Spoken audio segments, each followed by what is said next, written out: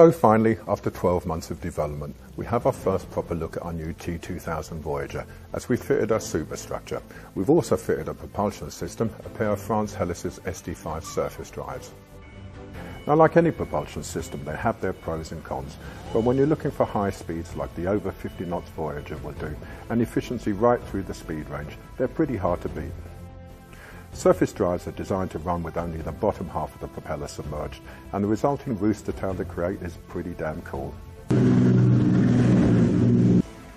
Traditionally a disadvantage of surface drives was slow speed operation, as the propellers are then fully submerged, which can make the drive harsh as the props become overloaded. However, we pretty much eliminate this by installing ventilation tubes that draw air down from the surface, allowing the propellers to ventilate and slip.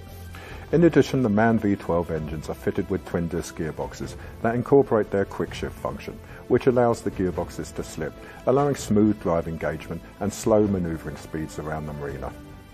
We also have twin stern and bow thrusters which make docking very easy. The T2000 Voyager features symmetrical semi-wave piercing hulls that combine an inverted bow with traditional topside flare, the inverted bow provides a very fine waterline entry to cut through waves, but also maximises waterline length, while the topside flare keeps the boat dry. The bridge deck is terminated some 3 metres from the bow to eliminate the possibility of waves slamming on it, and the bridge deck to waterline clearance is substantial, being a minimum of 1 metre at the transom.